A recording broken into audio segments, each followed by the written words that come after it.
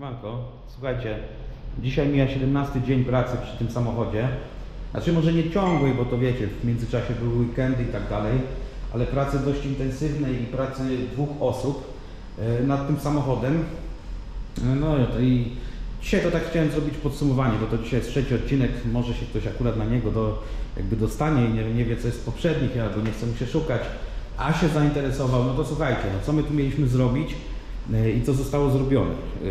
Mieliśmy tutaj zrobić malowanie powierzchowne e, z jakąś tam naprawą delikatną, oczyszczeniem e, jakichś tam rdzawek, e, plus zrobienie to tak z głową, żeby nie pomalować uszczelek, lamp i tak dalej, i tak dalej, tak?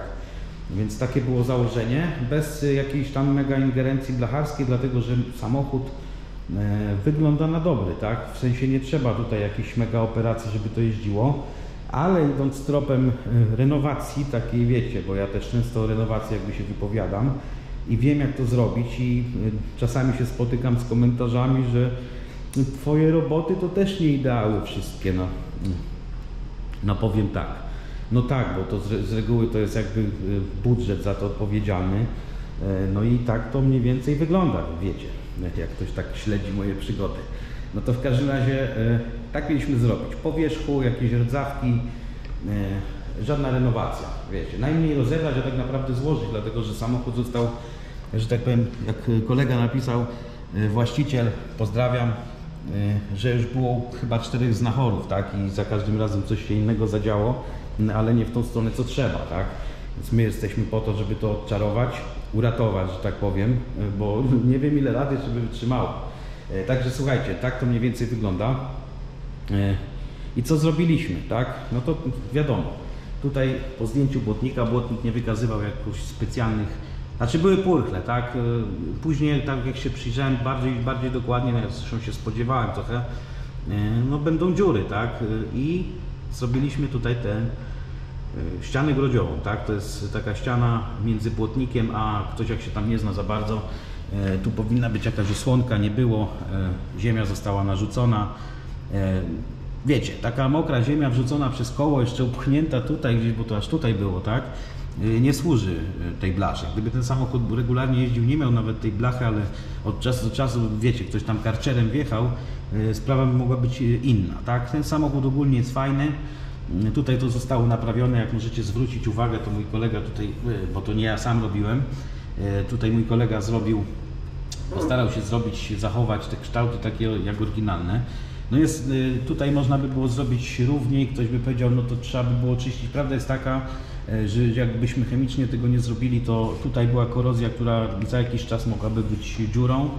E, Teraz mam nadzieję, że ją powstrzymamy trochę. E, Dodatkowo trzeba było to wszystko roznitować, robić i tak dalej. No to jest dla tych wszystkich, o których wspomniałem na początku filmu, że ty wiesz, co tu trzeba było zrobić, albo jakieś takie inne tematy. No ja wiem.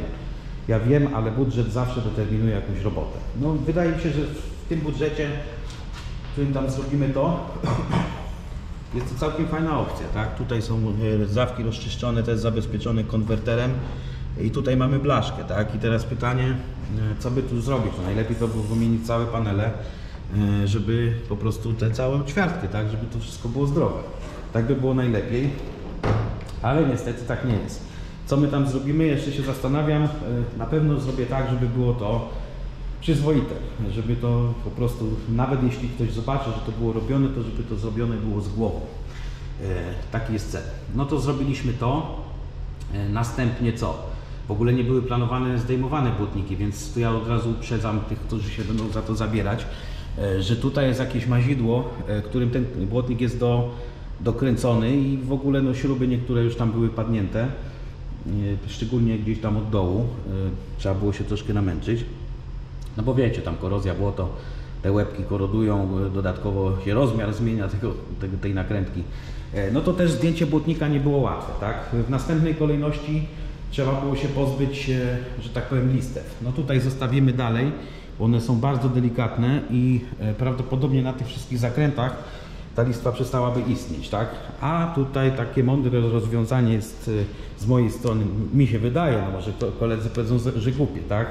Tu jest najbardziej widoczna jakby krawędź, tak? Jak ktoś będzie podchodził do samochodu, E, I o ile tą uszczelkę da się podnieść, dlatego że jest miękka, e, no to ta uszczelka, która jakby jest elementem tej listwy, jest ciężka do podniesienia, tak? Więc tu może być problem.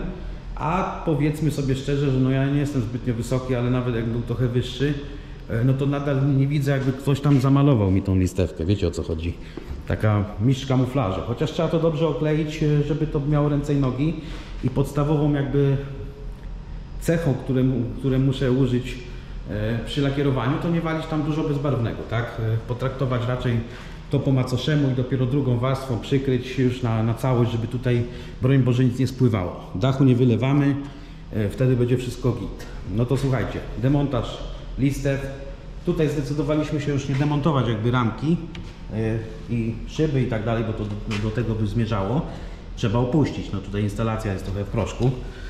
E, Odchyliliśmy, tak? Czyli tutaj będzie wymatowane, e, będzie tutaj pola kierowane, no i nie będzie do listwy, tak? No niestety z tyłem tak się nie da, bo tu już się grubsza akcja robi. A jak przypominam, bo przypominam, jak ktoś jest chętny, że tak powiem, to zdemontować, no to ja zapraszam.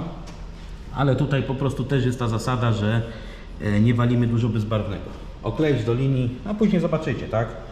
Y, Zmatować. Wiadomo, istnieje zawsze ryzyko, że to za jakiś czas odejdzie, ale im lepiej to zrobimy, tym jest mniejsze. A, a prawda jest taka, że jeszcze raz podkreślę, e, taki jest budżet. No bo szkoda poniszczeń, no sami przyznacie. No. Tym bardziej, że tu nikt nie będzie walił podkładem, e, nie ma korozji, da się to zrobić, żeby to jakiś czas wytrzymało. I potem, dla znawców, jakby tu zaczęło odchodzić, to też możemy tylko zrobić do linii. No ale to, to trzeba, wie- wiecie, raz na jakiś czas. No szyby są drogie, części do tego samochodu, jak Wam wspomniałem, to jest e, 2000 przynajmniej e, za błotnik, który reprezentuje jakąś e, wartość, e, a resztę trzeba naprawiać. I my w tym przypadku e, naprawimy, chociaż tak jak mówiłem, czy nie mówiłem, blacha naprawdę jest dobra, więc tam jeśli będą jakieś wstawki, to niewielkie e, i damy radę. I co dalej zrobiliśmy? Tutaj kolega, kolega, no to trzeba oddać mu, e, uzupełni tutaj ten trójkącik taki do błotnika, co jest. E, Wyciął go, wstawił był po swojemu nowy, został zabezpieczony i tak dalej, tak? Błotniki będą się robić. E, Oczywiście nie same, to kolega też będzie działał. E, Czemu podkreślam, żeby ktoś wiedział, że no minęło te 17 dni z przerwami na e, powiedzmy jak to się mówi, z przerwami na e, technologicznymi na odpoczynek, czyli weekendami, tak? Ale tutaj jest e, ileś tam dni, ponad 10 na pewno, e, w której pracowały praktycznie dwie osoby, tak? Więc to tak mniej więcej wygląda. Dalej co zrobiliśmy? No, plan ogólnie pierwotny był taki, żeby wziąć tylko miejsca, które ja ewidentnie widzę do naprawy podkładować, czyli na przykład w tym przypadku bym zrobił tutaj, tak? Ale jednocześnie, że e, mam okazję zobaczyć ten samochód już, wiecie, przy robocie najlepiej widać, no zdecydowałem się całe panele zapodkładować, tak? Ale zanim to zrobię, e, to co zostało zrobione? No słuchajcie, e, tu gdzie były wrzery, to one były rozczyszczone i wypiaskowane. Tu poszliśmy metodą konwertera rdzy i na to epoksydu i dopiero szpachlowania. Taka nasza koncepcja. Tu nawet trochę przebija, ale ponieważ tu nie będę... Przebija po docieraniu szpachli, tak? To, to, to jest konwerter. E, Tu ja będę nic nie robił, już tylko zakryję epoksydem i to będzie jakby najbardziej poprawne technologicznie w tym przypadku, tak? E, I to wszystko.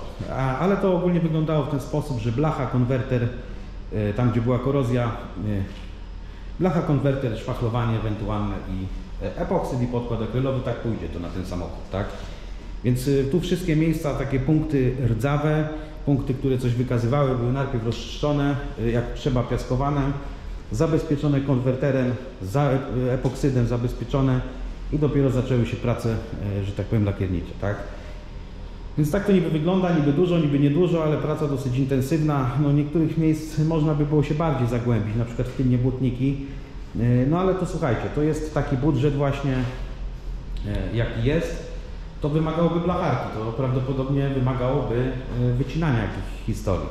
A z drugiej strony e, ta korozja tak wolno się tam rozwijała, e, że myślę sobie, że po takiej naprawie, nawet takiej jak teraz robimy, czyli takiej sumiennej na tyle ile można, e, myślę, że zatrzymaliśmy ten proces o ładnych kilka lat i gdyby trzeba było potem coś zrobić, to prawdopodobnie nie byłoby bardachy jak tak, tak zwane. Wiecie, to teraz to na pewno jest zatrzymane i oby jak najdłużej, tak?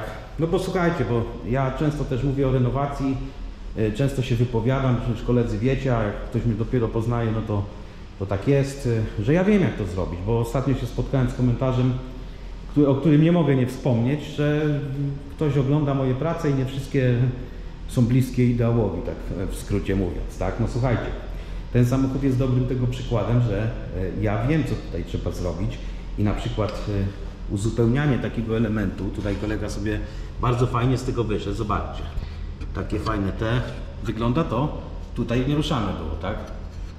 Wygląda to bardzo przyzwoicie. No, ale jakby chcieć iść tak dobrze, no to trzeba by było, przepraszam, ta kamera mi świruje, trzeba by było to roznitować.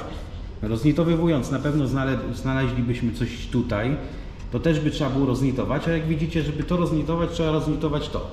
Także mniej więcej w skrócie ja wiem, jak to trzeba by było zrobić, gdyby ktoś chciał skomentować, że nie wiem. E, A ogólnie no to do pewnych rzeczy trzeba po prostu się przyzwyczaić e, w miarę budżetu, tak? Bo generalnie powiem Wam jak to jest z tymi samochodami. Chcąc zrobić 30-letni samochód tak jak się należy, musimy każdy element do siebie przyłączony, który nie stanowi jednego elementu, powinien zostać rozdzielony, naprawiony, zabezpieczony i złączony ponownie. Zobaczcie z ilu kształtek się składa chociażby tutaj to miejsce żeby ktoś miał świadomość, jakby chciał naprawdę, naprawdę dobrze robić. No, więc słuchajcie, chyba wszystko rozwiałem. E, Ktoś, kto ma śledzić, niech śledzi. E, Już jakieś fotorelacje się zaczną pojawiać. Ogólnie plan jest taki, żeby to dzisiaj dotrzeć i zapodkładować. Oczywiście jak będę widział, że zaczynam iść na za duże skróty, to sobie dam spokój i dokończę to jutro. A póki co, na razie.